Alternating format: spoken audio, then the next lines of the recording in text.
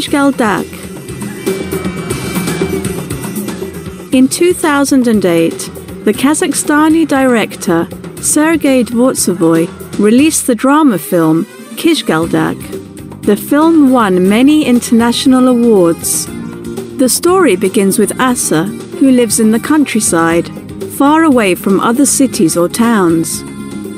He used to be a sailor in the Russian Navy. Now he wants to become a herdsman and marry the only girl in the neighborhood, Kyzgaldak. However, she's not interested because she thinks Asa's ears are too big.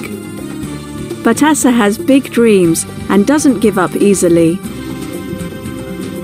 The setting of the film is the Kazakh steppe, and it introduces the audience to the traditions of people in Kazakhstan. What is interesting about the film is that the actors created much of the dialogue while filming. Ashkat Kushin is excellent in the lead role as Asa. The best thing about Kyzgaldak is that you learn about life in rural Kazakhstan. Also, the film has lots of funny moments. Don't miss it.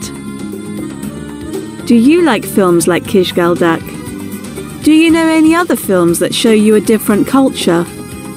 Which other countries would you like to see in films?